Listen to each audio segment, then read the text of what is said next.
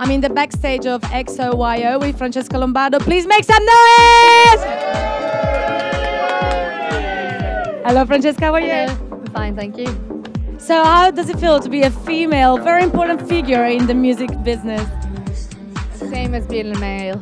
Really? Do you think it's the same? I think so, yeah. This is great. How did you get into this?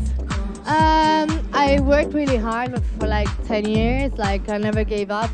And uh, I was lucky enough to meet someone, you know, who believed in my music. So, and he wanted to listen to my music, so I really liked it. You know, Damian. He's like my best friend, daddy. It, it was your mentor, sort of. Yeah, yeah, for sure, yeah, yeah. But now you're doing your yeah. path by Yeah. yourself. So, what's your project for this winter time and the future at the moment?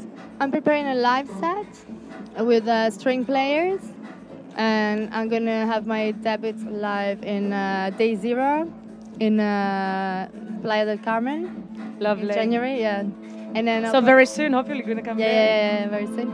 And then I'm gonna start doing it probably in the summer, and then to promote my album, which is gonna come out after the summer. It's Do with just it. uh, me, like it's my own music, and I have Okay. like uh, a quartet string players. I have like a cello, a viola, uh, uh, sorry, two violins and a viola, and a double ba- bass player.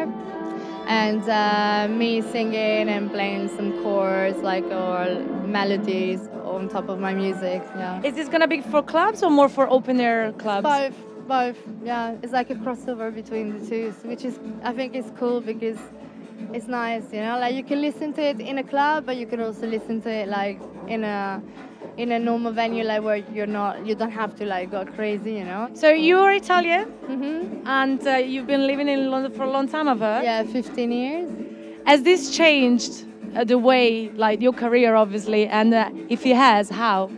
Well, I came to London because I knew that London was the right city for me. But at the beginning, I came just to to sing in bands. I, I never thought I was gonna be DJ, and then like I met people, start going to like parties and start DJing for fun, and then the DJ the DJing took over more than like the singing, and then now I'm actually doing both, which is great because like the DJing brought me somewhere, and now I can actually sing as well because of you know I met the right people. Of you know. course. Do you like more producing or expressing yourself with the performance? I really like producing.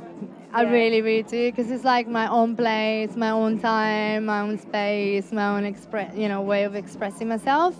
But I also like to like DJ. I mean, I couldn't live without one or the other. Oh, other. Yeah, I couldn't. Yeah.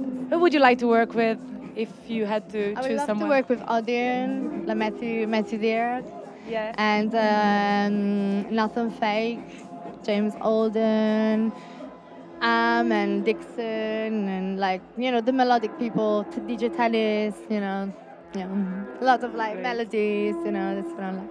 What uh, are the best places you you played at in your career as a DJ? Well, Day Zero for sure was a very good experience because it was not only like a party, it was a spiritual. It was, there was something behind it, so there was like a, a reason why the party was happening. Like it was really like full of different, you know, information. You know, rather than just being party, party, party. I love Circoloco, of course. It's always been my dream to play there, and I had the chance to play there this summer and you know last summer. And Enter was really good as well. I really felt like uh, they were really professional. Like Richie Hawtin was really cool with me as well, like personally. Flawless production, isn't it? Yeah, it was just really, really. I, I didn't expect that. You know, when they told me we were gonna play there, I never like he came on behind the DJ booth while I was DJing to say thank you. That was really cool. And, um, and of course, London. I think the parties in London are the best. I think so too. Yeah. we love London. Yeah. Thank you, Francesca Lombardo. Thank you. Hello, I'm Francesca Lombardo. This is DMO Live.tv.